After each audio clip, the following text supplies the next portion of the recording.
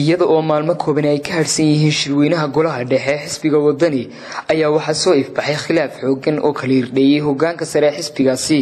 Waxaana uu xisbiga u kala fadhiyaa laba garab ay kala hogaaminayaan gudoomiyaha xisbigaasi cabdiraxmaan ciro iyo ku-xigeenkiisa axmed muumin seed waxaana khilaafkani oo muddooyinkii ugu dambeeyeyba ahaa mid hursan oo sababay inaanu gebi ahaanba ka soo xaadirin xarunta dhexe xisbigaasi wadani axmed muumin seed ayaa labada arday ay ka soo kala jeedaan labadani mas'uul ay maanta iskugu yimaadeen qada sharaf la rabay in la iskugu soo dhoweeyo waxaana madashani goobjoog ka ahaa gudoomiye ciro iyo ku-xigeenkiisa axmed muumin seed qaybo ka mida kaadiriinta ugu sarreysa xisbigaasi iyo cuqaasha labadani ardaa waxaana kadib daqiiqado kooban markii uu furmay kulankaasi goobtani ka soo dareeray.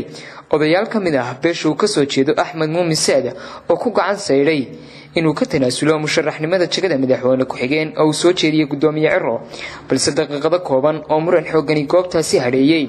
Waxa uu jawigu ku noqday sidii hore. Waxaana intii goobtaasi aanu ku sugnayn aan haba yaraatee noo suuragelin inaanu qaadno wax muuqaala. Jawiga goobtaasi oo cakirna awgeed waxaana ilaaladii goobtaasi lagu amray in la dareeriyo koox wariyaal ahayd oo goobtaasi ku sugnaa. Kana warsugayay dhawaaqa ka soo baxa kulankaasi waxaana khilaafkani oo salka ku haya kadib markii uu gudoomiye ciro iska horkeen ku sameeyey.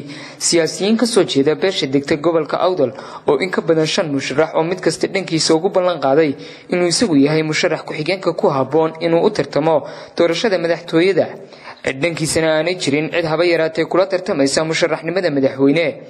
Waxaana taasi ka biyadiiday axmed muumin seed oo ah gudoomiye ku-xigeenka xisbigaasi ahna musharax u taagan jegada madaxweyne ku-xigeen si kastaba ahaatee duufaantani siyaasadeed ee ka dhex qaraxday xisbiga curdinka ee wadani ayaa ah mid miisaankeeda culays leh waxaanay dadka siyaasadda falaqeeya ku tilmaamaan. Inaanu xisbigu waqti xaadirkan lahayn awood uu kaga soo kabto ka bixitaan mas'uuliyiin miisaan ku leh saxada siyaasadda somalilan oo ka baxa xisbigaasi kuwaasi oo sabab uga dhiga dhigooda labada xisbi ee kulmiya iyo ucid. Oo kaga soo horreeyey saxada siyaasadda somalilan waxaana ilaa hadda la saadaalin karin goobta uu saldhigan doono khilaafkani kala fogeeyey.